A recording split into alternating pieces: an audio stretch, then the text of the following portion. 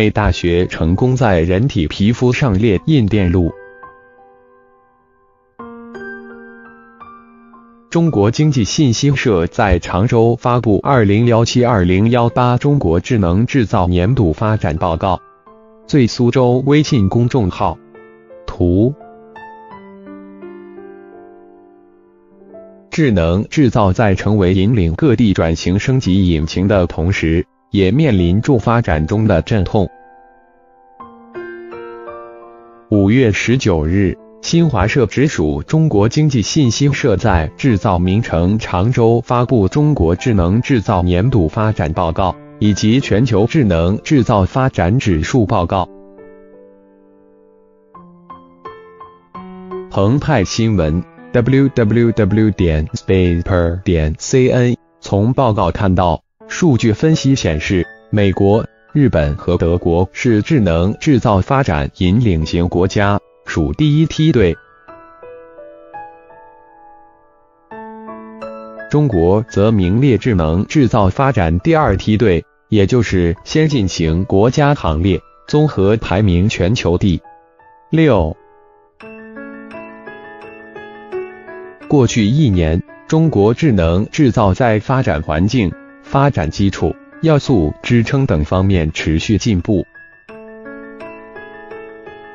同时，报告认为，中国智能制造目前仍存在一定非均衡特征，即政、产、学、用、资五方面中，政策与学术发展势头迅猛，产业应用与资金的发展有待进一步提升。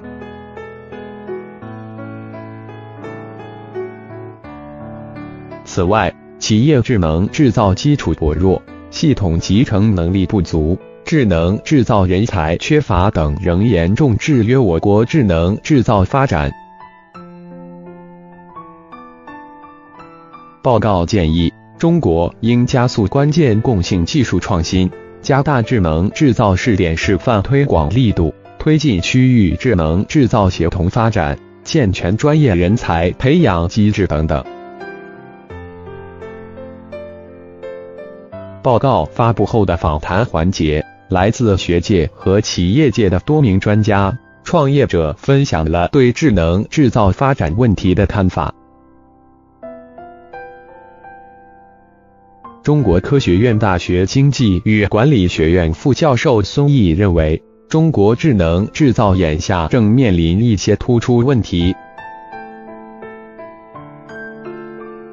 从技术的角度。中国智能制造的整体创新能力与已开发国家相比差距较大，重要基础技术和关键零部件的对外依存度高。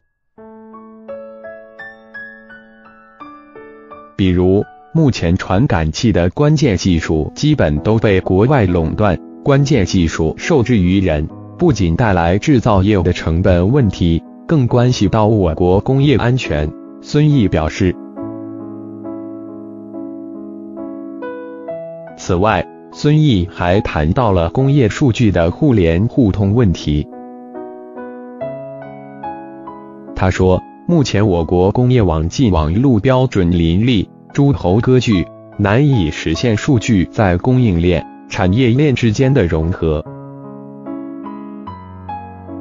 孙毅认为，如此一来，不能打通生产端和消费端、产业内和产业外的数据壁垒。会极大限制智能制造的发展潜力。常州某工业企业创始人张冲浩重点提出了智能制造落地难的问题。在他看来，目前的智能制造对于大型企业有很大帮助，但对小型企业、离散型企业帮助有多大，还没有被摸索出来。目前，中国注册在案的中小微工业企业共有两千多万家。张冲浩认为，智能制造技术如何适用于离散型企业，占比百分之九十九的中小型企业，将是一项巨大的挑战。